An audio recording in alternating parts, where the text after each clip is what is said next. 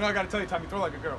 Football's not my game. Well, football's not your game. Let me guess, baseball is your game. Baseball's my game. Because racism is just as American as baseball, Tommy. I just don't like the fact you get your fingers jammed when you throw the football. And I got to type, unlike you, for a Throw a lead pass, maybe. How Yeah, see if you can catch Go ahead. Hey guys, Shane DiMaio with the Staten Island Advance alongside me, Tom Robleski, senior opinion writer, SILive.com, and this is a hot minute on the lawn.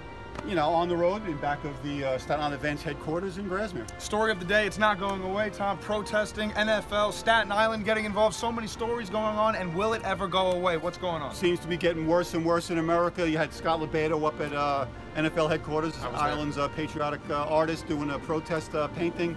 Joyce's Tavern going dark on the NFL to protest the people who are taking a knee at the anthem and disrespecting the flag in their opinion. DirecTV will give you a refund on your uh, football package if you want to like cancel your subscription. So a lot of crazy stuff going on out there and people aren't together on it. Now, one main argument, Tom, made by Scott LoBaido today is you cannot protest for a private business. If you were working at McDonald's, you get fired before a Big Mac can get off the assembly line.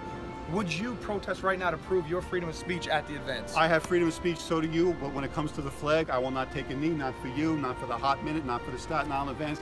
Got too much respect for the flag, too much respect for the people who lived and died to defend our rights. well, thanks for watching, guys. We want to know what you think in the comment section. Let us know. yeah, get to us on Facebook and tell us. Throw it up, baby. Oh, yeah, here you go. Oh, I got, let me tie my shoe real quick. Are you kneeling in front of the flag? I'm tying my shoe!